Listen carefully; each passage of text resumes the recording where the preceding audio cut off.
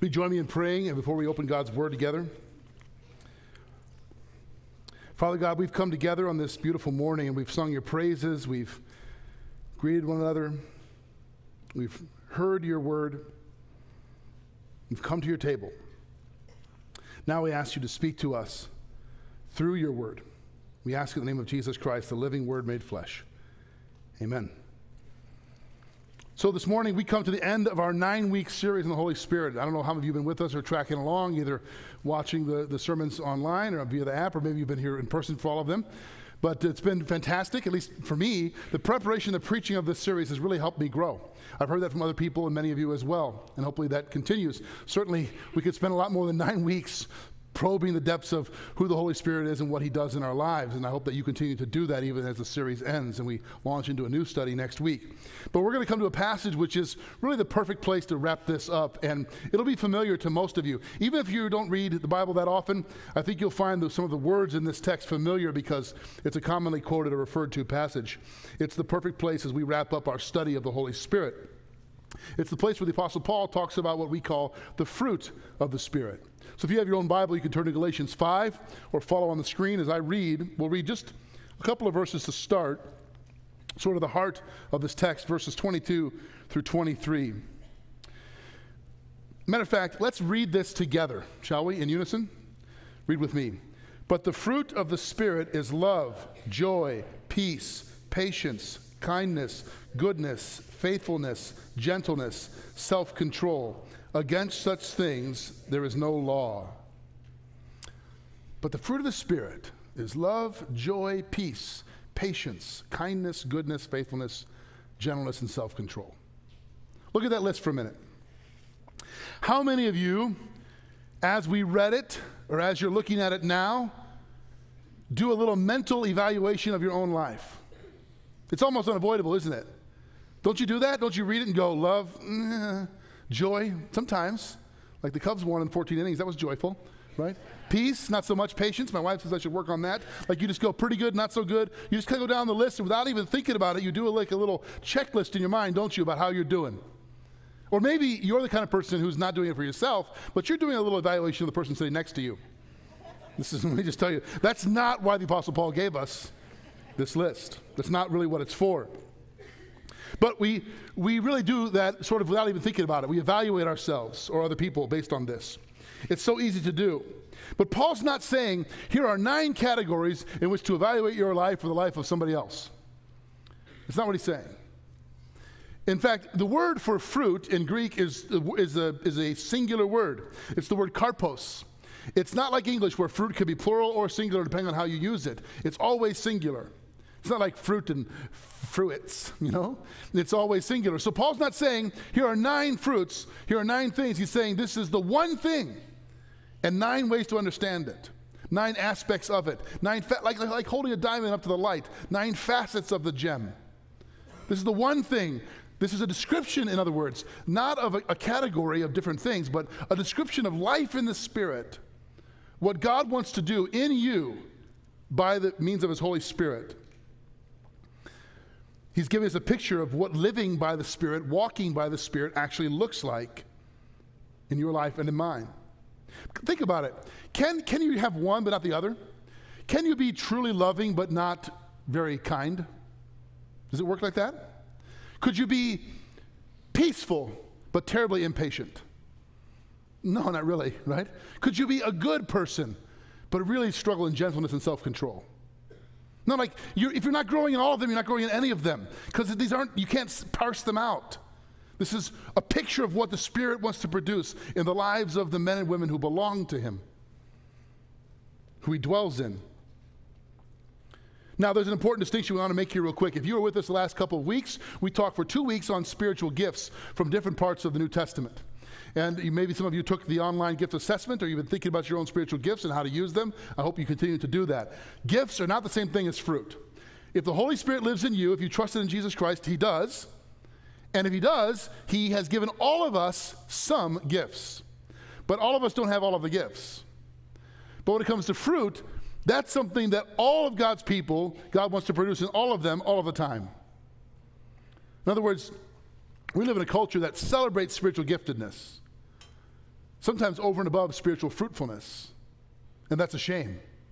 In matter of fact, you could, I could be up, up here operating out of my own spiritual gift of teaching and preaching, and you could think, wow, he's so spiritual. But my spiritual fruit could actually be in the toilet, to mix metaphors on you. Meaning I could be, go home and act like a total jerk to my family. I mean, sometimes I do, but not, hopefully not as often as I. I'm getting better, right? But I'm up here, and, and, the, and, and the giftedness could mask it. As a matter of fact, if you're using your spiritual gifts and it's not producing in you love, joy, peace, patience, kindness, goodness, faithfulness, gentleness, and self control, then something's off.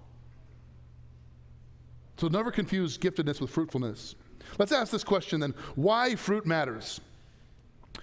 Paul's painting a vivid picture here of what God wants to produce in your life by the Holy Spirit. And as a matter of fact, this really could be described as the character of Christ. Because in Galatians 4, verse 19, Apostle Paul says, I'm in the pains of childbirth. I kind of think, well, how would he know? But anyway, I'm in the pains of childbirth until Christ is formed in you.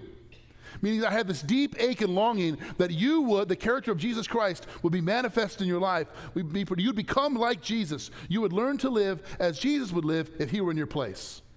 So when we look at the fruit of the Spirit, it's really a description of the character of Christ in the life of the believer. In fact, why fruit matters, Jesus says in Matthew 12 33, either make the tree good and its fruit will be good, or make the tree bad and its fruit will be bad. A tree is known by its fruit.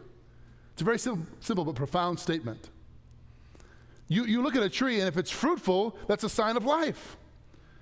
But if you're walking in the, in the apple, or how many of you go apple picking in the, in the fall, or have been ever, or heard of it, right?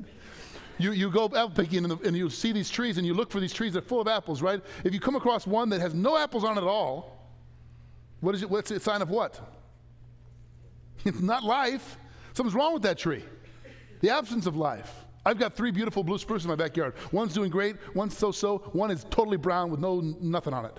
Now I'm no horticulturalist, but I'm pretty sure that one's dead. In other words, he's making an obvious statement here. The fruit of the Spirit in our lives is evidence of the presence of the Spirit in our lives. And the glaring lack of the fruit of the Spirit in our lives should give us pause to go, well, what's, what's going on in me? Is the Spirit at work in me? Am I resisting Him somewhere? Fruit on a tree is evidence of life. Can you tell the difference between how you've ever gone up to a bowl of fruit and, and, and you found out it was fake and you thought it was real? Anybody ever have? I, I actually almost took a bite. Usually you pick it up and you know it's like, oh, this is too light. I almost took a bite of a fake pear one time. But I, I have a couple pieces of fruit here for the illustration. We'll see if you can tell the real thing from the fake. I've got uh, a pear and an apple. One of them is real, one of them is not real. What, can you tell from where you sit which one's fake and which one's real? How many think the, the apple is fake? a couple of you. How many think the pear is fake? A few more of you. How did you know? Nope. This is the, I had a green one last hour. It was super sour. This, I stole a sticker from Fresh Market this morning. Not a pear, just a sticker. So you, so it didn't fool you at all, right? Last hour, the green one was much better looking. You can't tell unless you get up close, unless you take a bite, right? Taste and see the Lord is good, the psalmist says. In other words, it's not something you fake. Paul's saying, How do you know you belong to Jesus? By doing a few good deeds, by acting in a certain way when people are around you, or by the character being produced in your heart and life at the deepest level. That's what he's talking about here. This is why fruit matters. Let me just go through this list and give you a very brief one sentence, like New Testament definition of what each of these aspects are that might be helpful for us. Love, not a feeling. The Bible's definition of love is not how you feel. Uh, like the great theological band Boston once said, it's more than a feeling. It's seeking the, it's actively seeking the good of others at the expense of yourself. Love is seeking the good of others ahead of yourself. Joy, an increasing delight in God, not just in the things God gives you, but in God Himself. Peace, decreasing in anxiety and worry because of your growing trust in God. It's not the absence of conflict, it's the presence of trust in the midst of that conflict. Patience, the ability to endure, even suffer wrongs without falling apart because you know the one who holds you together. Kindness, the genuine desire to demonstrate the love and compassion of God in action to other people. Goodness, integrity of heart in all circumstances. How do you know somebody's good? Not just in what they do, but in what's in their heart, what motivates them. Faithfulness, an unwavering commitment to God because you're confident that He's faithful to you. Gentleness, humility, self forgetfulness, a quiet spirit. And last, self control. This is a curious one to me because these are called the fruit of the Spirit, not the fruit of the self. So, why is self control one of the fruits of the Spirit? Isn't the whole idea that you're controlled by the Spirit, not by yourself? Well, this is really interesting, I think profound. Paul's saying one of the fruits of parts of the fruit of the Spirit is that the Spirit enables you to control yourself. The Spirit enables you to live according to God's will, not your own. To say yes to what God wants in your life. This brings us to verse Galatians 5 verse 16 where Paul sort of begins this whole part of his discourse. He says, "But I say, walk by the Spirit, and you will not gratify the desires of the flesh." In other words, self-control is the ability, the God-given ability to walk by the Spirit, not by this thing called the flesh, which we'll talk about in a minute. Simply put, self-control does not come from yourself. Self-control comes from the Spirit of God. Let's ask this question then how fruit grows. Why it matters, it's a mark that you belong to Him. How does it actually grow? Now, the fact that Paul uses fruit as a metaphor is really, really important for us and for several reasons.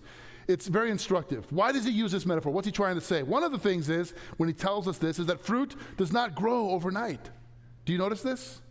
Remember that apple picking analogy? You know how long it takes for an apple tree to become mature when you plant an apple seed, for the tree to become mature and bear fruit? Seven to 10 years before that tree is going to be one you can pick from when you go to the orchard with your family. That means for seven years or more, there's nothing growing there. No apples, anyway. And isn't this true in your life? Doesn't it often feel in your life that sometimes spiritual growth is slow going? Sometimes it feels like there's not much happening. Sometimes I wonder if there's anything growing at all. It's, it's happening and it's not visible yet all the time. This is how it happens for most of us. I've been a Christian for over 30 years, learning to follow Jesus for over 30 years. And do you know what the truth is about me? I still struggle with some of the same hangups from 25, 30 years ago. They look different. I'm more sophisticated now. But the ego, still there. The desire to have my way, absolutely still there. Sometimes the anger, I wish it wasn't, but it still flares up now and then. Selfishness, how easily my feelings get hurt, how insecure I still am sometimes. It's all still there. Now, this is not to say I haven't grown. I've grown tremendously. But do you ever feel that way? Like, man, why am I not past this by now? Ever felt that way? If you're not nodding in your spirit, then you're not listening or you're lying, right? We're, we all do struggle this way. It's still an issue. Why can't Jesus just bonk me on the head and make me new? Why do I have to go through it? Like, why is it one step forward, two steps back, three steps forward, one step back? This is exactly what Paul's talking about. This is the context in which he gives us the fruit of the Spirit. He's talking about this, this struggle, wrestling of spiritual growth. What he's really doing when he, in this whole passage, which we'll talk about, is gives us sort of two different competing spheres, or if you like, if you're a technological person, operating systems. One which he calls the flesh, the flesh operating system, the FOS, if you like. The other he calls the spirit, the SOS, spirit operating system. Flesh and spirit. And he's talking about the fact that we live right here. If you belong to Jesus, this is where you live, right here in the, in the intersection of flesh and spirit. We're not here, we're not totally driven by the flesh because we've been redeemed. The Spirit lives in us. Neither are we fully formed and transformed yet, are we? We live right there. This is it. This is why we feel this wrestling match and this, why am I not past this yet? And like, why, do, why is this still an issue for me? Now, the word he uses for flesh is the Greek word sarx. Your Bible might say um, sinful nature. Which is the, tr- the translator's way of interpreting what Paul means by flesh. When he says flesh, the Greek word sarx, he doesn't just mean like skin and bones. He means a spiritual reality, a, a, a sphere of influence, an operating system at work in your heart and in this world. And the Greek word he uses for spirit is one we've already learned. It's pneuma. Now you might remember that the Hebrew word is, is ruah. Pneuma is the same, means the same thing, wind, breath, or spirit. So these are two competing systems. Remember, we, we learned, or your Bible says sinful nature. And what we say that the fruit of the Spirit is a, is a description of Christ's nature, the character of Christ in you. Let's read for a minute verses 17 through 18. For the desires of the flesh are against the Spirit, and the desires of the Spirit are against the flesh. For these are opposed to each other to keep you from doing the things you want to do. But if you're led by the Spirit, you are not under the law. Did you catch that phrase? To keep you from doing the things you want to do. Did you hear that? Do you see it up there? What is Paul saying there? If you belong to Christ, you have deep down inside a desire to do what he wants you to do, even though you don't always act on it even though sometimes you actually do the opposite. That's one of the evidence of the Spirit that you, I want to do what He wants me to do, but I just fail. So anybody relate to that? That's this right here flesh and spirit at war. As a matter of fact, you notice that sometimes in the Bible, this is called the old self. In Romans, Paul refers to it as the, the old man, the old self. And this is called the new self. In Ephesians, Paul says we're to put on the new self, created to be like God in true righteousness and holiness. Now, when he talks about the flesh, Paul says these things of the flesh are called the works of. Works of the flesh. What does that mean? Works of. It means stuff you do. These is, this is called the fruit of, isn't it? What does that mean? The stuff God does. You see the difference? These things are competing inside of us and in the world around us for dominion in our lives. The mark of the Spirit is you desire to do what He wants you to do. And what God wants to do is free you so that you live increasingly that way. Now, again, why does Paul use this metaphor of fruit for a minute? Of growing things. How many of you are gardeners? You like to garden. You have a garden. You had a garden. You've seen a garden. Okay? I'm aware that gardens exist, right? Some of you, I love to garden. My wife grows beautiful flowers. She's got them like timed out for the different seasons, what blooms when, and I water them when she tells me, and that's about the extent of it. Now, those of you that like to garden, or whether it's a flower garden or vegetable garden or whatever, does it work like this? Do you buy the seeds for what you want and just kind of throw them down in a patch of dirt and kind of forget about it? Come back three months later and you've got peas and tomatoes and cucumbers and peppers and squash all growing in nice, neat rows. Is that how it works? Any gardeners? No. I'm not a gardener, but I know that much. It doesn't work like that. And because those who are gardeners tell me to go out there and weed. It doesn't work like that. That's not how you have to pay attention, don't you? You have to cultivate, you have to weed, you have to water, you have to look after those plants. I don't know, I see people out there, they're matching gardening gloves and fancy rubber boots, whispering to the plants, whatever they do out there, right? You, you, the things you have to do. You can't just walk away and forget about it. If you just throw seed down and walk away and forget about it, what will happen? You might get a tomato or two, but you're going to get a whole bunch of weeds. You get a whole bunch of weeds and not very much fruit. Now, if you do all those things, if you cultivate and water and plant and, and, and you know, fertilize and all those things, do you make it grow? I mean, we say I grew these tomatoes in my own garden. I hate tomatoes, by the way. I like. It's weird. This is a weird thing. It's not part of the sermon, but it's funny. Um, my, I like tomato sauce, tomato paste. I like, stewed tomatoes and cooked tomatoes. I don't like fresh raw tomatoes. My grandfather used to eat them like an apple, and the, the stuff would get in his beard. It made me sick. And I, anyway what were we talking about? So, right, you, you, if, you, if, you, if you do all the stuff in your garden and you, you didn't grow it, did you? Not really. I mean, you, you didn't grow it. You don't control the sun, which has something to do with growth. You don't control the germination process.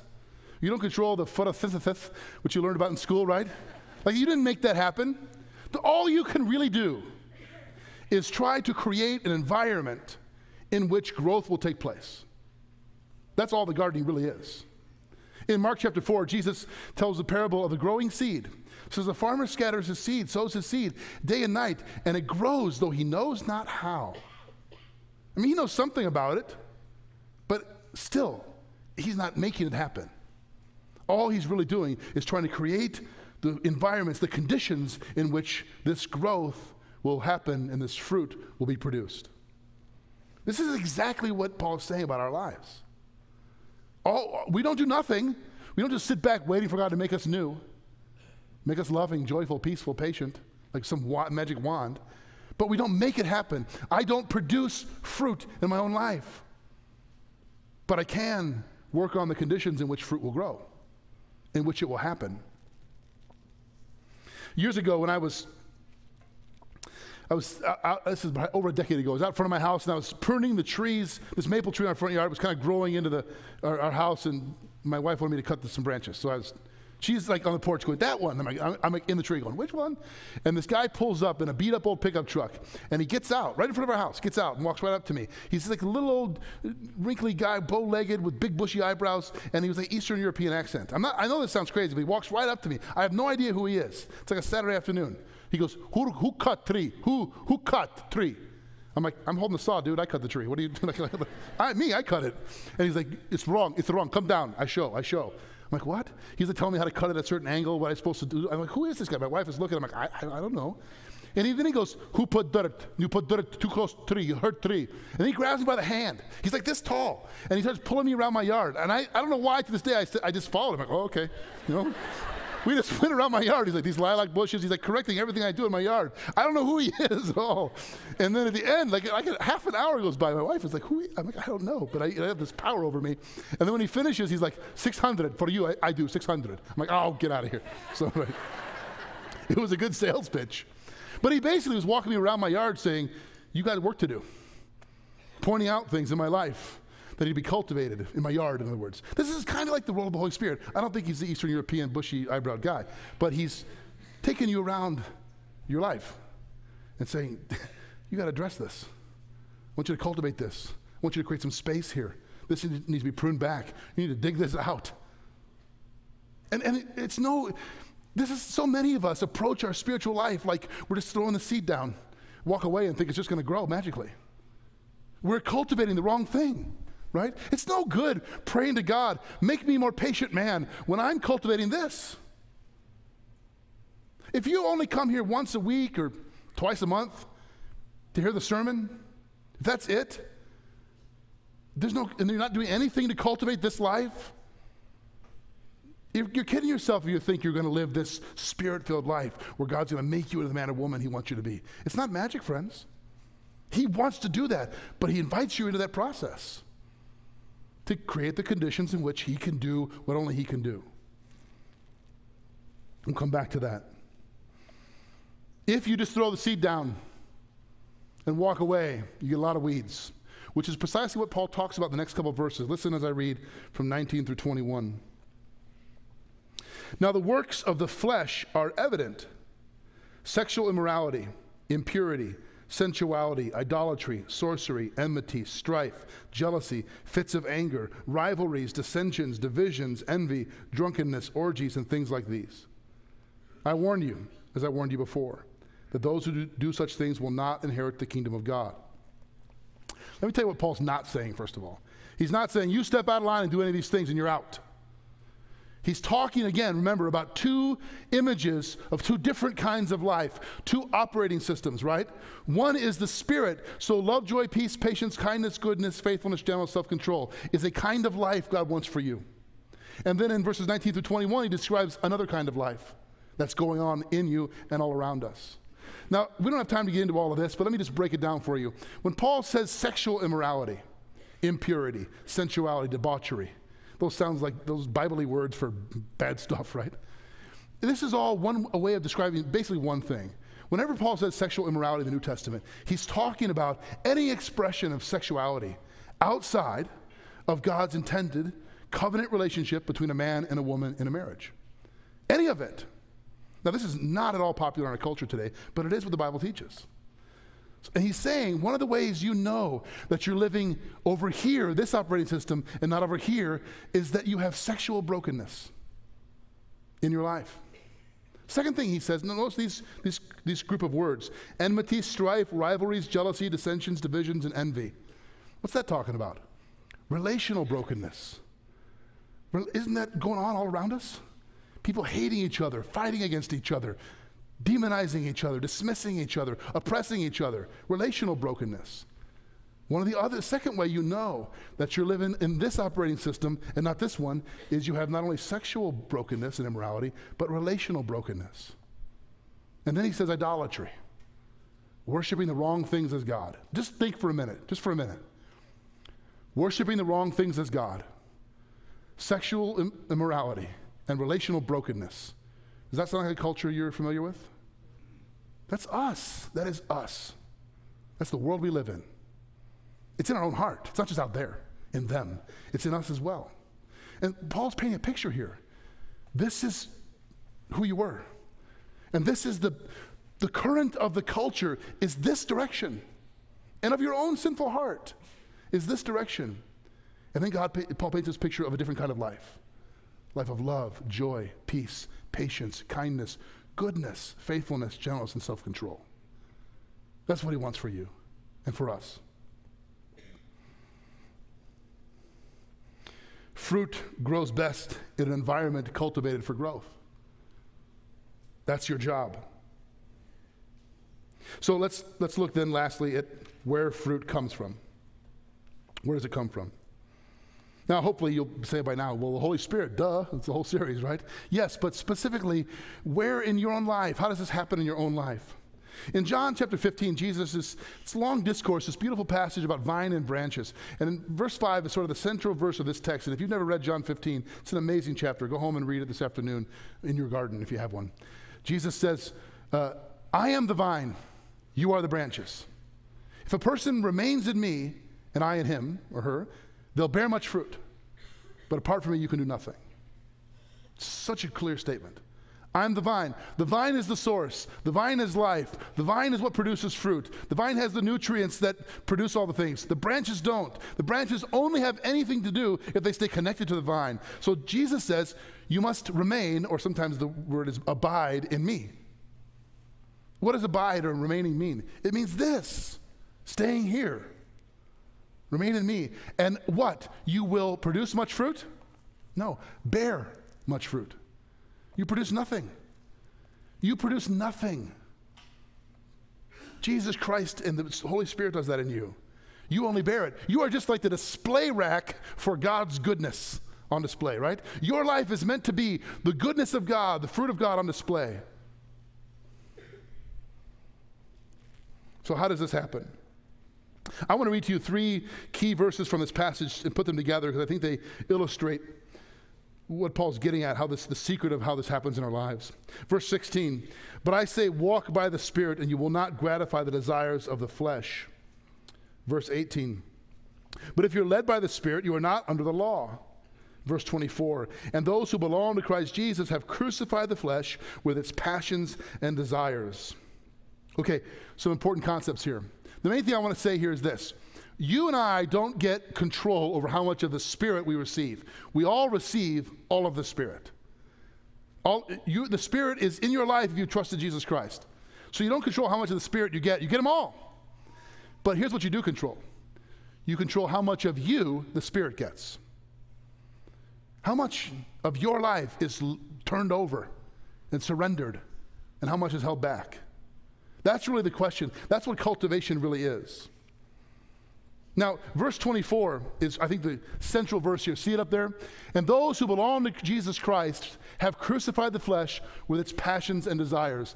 This is, this is the central verse to apply to where we live. And I don't know I always saw this this way.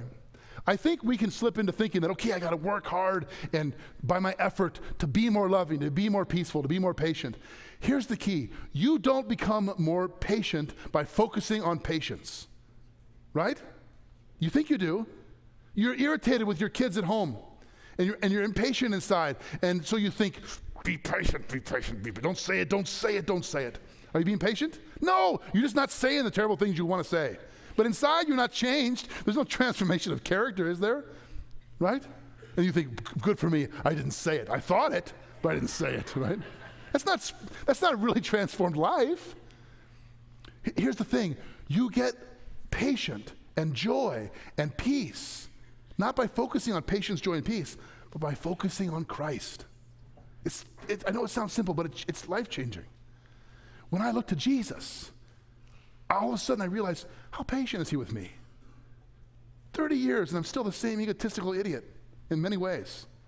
I'm asking, but I've still got that stuff, and He loves me, and He's patient with me and with you. How dare I be impatient with my children or my wife or this person I hardly know? When I, when I look to Jesus and I see in Him true goodness, like that's that, you know, in other words, you don't get these things by focusing on them. You get them by focusing on Him. And so 524 says, Those who belong to Jesus, Christ Jesus have crucified the flesh. Now notice uh, verse 18.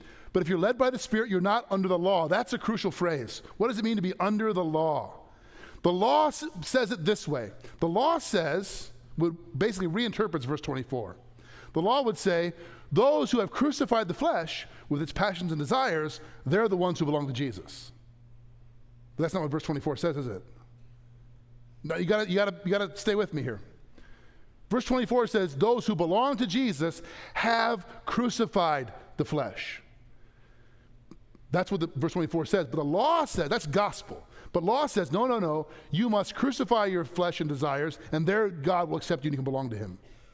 If it read the other way around, there's no hope for any of us. If it read, get your act together, put to death all that nonsense in your life, stop being such a loser, and then God will let you belong. We're all in trouble. But that's not what verse 24 says. The gospel is this if you place your trust in Jesus Christ, you belong to him. Do you remember what I told you weeks and weeks and weeks ago the primary job of the Holy Spirit was? Romans 8 to testify with your spirit that you are a child of God. You belong. You belong. That's covenant language.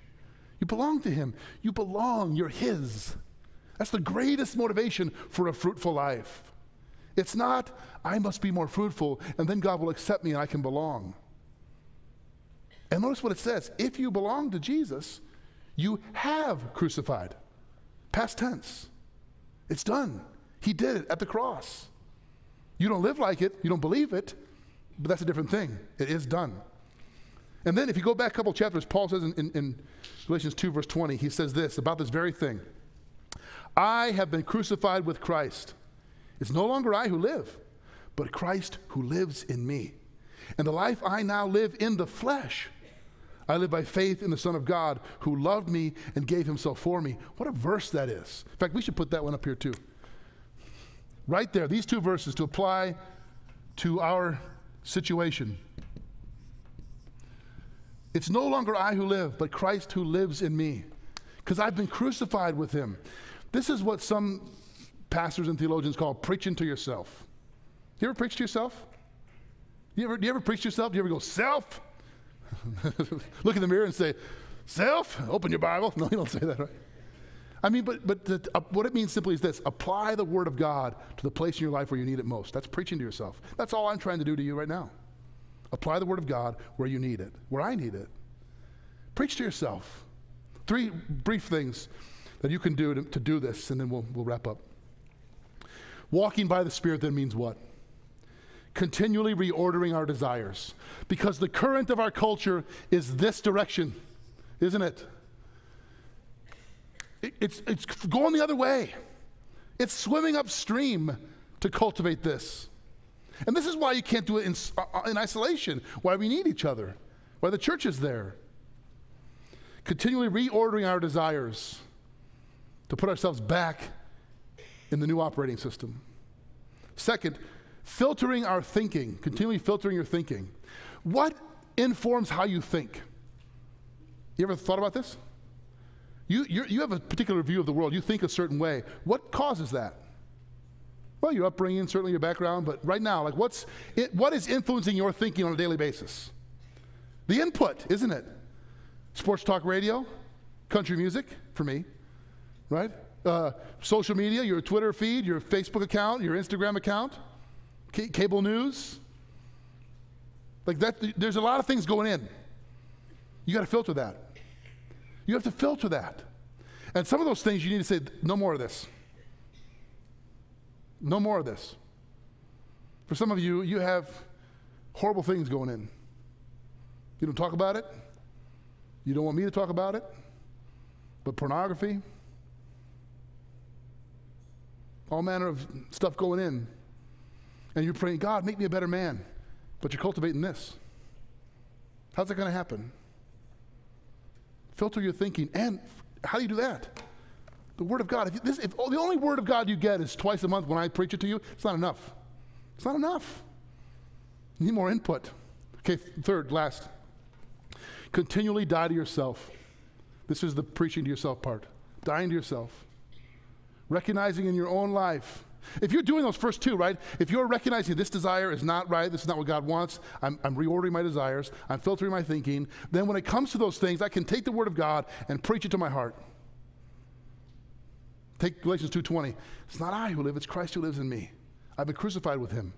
And the, this life belongs to him. If nothing else, take those two verses, right? And recite them to yourself this week. This, this is the life, this is the life of the Spirit. If you want to boil what the Holy Spirit wants down, it's to convince you in your heart that you belong to Jesus Christ, not to the world. And to increasingly call you to surrender so that you live over here in the new operating system called the Spirit. I mean, uh, we're all right here in some way, right? But God is pulling us and calling us, moving us by His Spirit to be loving, joyful, peaceful, patient, kind, faithful, good, and gentle and self controlled men and women. And last, this is, I promise, I said last like 10 times. This is the last, last. What do you think our world desperately needs? I mean, we, I read articles constantly about the church losing its influence, Christianity becoming irrelevant, and people debating whether the, the Christian church is a good thing for society, and all this stuff going on and on. What, what's the best way to combat that? I'll tell you what it is more angry Facebook posts. That's what the world needs. you know what it needs? What it desperately needs is for me and for you and for us to live this way. The best apologetic is for a whole bunch of people who claim Jesus' name to be that kind of people. To surrender my whole life so God can do what only God can do. Let's stand together for closing prayer. And I'll, I'll pray and then give the benediction. And by the way, I, uh, if you would like someone to pray for you in the glass room, we'll meet with you at the close of the service. And those of you who came prepared to give the benevolent offering, ushers receive that to bless those that are in need as you leave. Let's let me pray. Father God, you've you've given us your Son who died in our place and redeemed our lives, paying for our sin, liberating us from the bondage of sin and death. You've given us your Spirit to seal us as belonging to you, to dwell in our hearts. And you want to transform us into the character of your Son, Jesus. Forgive us for resisting that. Help us by your Spirit to live according to your Spirit, to walk in step with your Spirit, that we might indeed become women and men, marked by the character of Christ love, joy, peace, patience, kindness, goodness, gentleness, faithfulness, and self control.